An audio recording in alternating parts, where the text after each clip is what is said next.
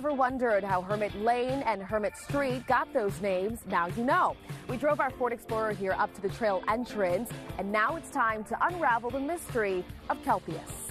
Kelpius was a man who brought a doomsday cult to Philadelphia. We're talking several centuries ago, in the late 1600s, when Philadelphia was the New World. Philadelphia was actually the edge of the wilderness in the New World. And the German pietists felt that made it the ideal location to witness the apocalypse. A perfect place to face God in all his glory. Johann Kelpius and his followers dubbed themselves the Society of the Women of the Wilderness. Which was interesting because it was a celibate group consisting of 40 men. The monks carved out a cave deep in the Wissahickon Gorge off a winding trail now popular with hikers, bikers, and runners. Kelpius was thought to have possibly prayed and studied and performed alchemy experiments trying to turn stones into gold, which would have been very useful. The cult dissolved after Kelpius' death in 1708, but the cave that housed the mystical guru and his followers remains charged with supernatural legend and spooky lore. People have reported getting a chilling feeling in the cave. People have claimed to see apparitions.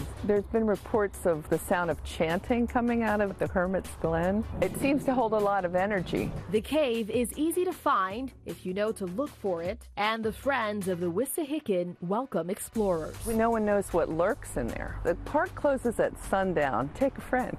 Ooh, go there if you dare. Oh, yes, it's been dubbed the Lost Cave of the Wissahickon.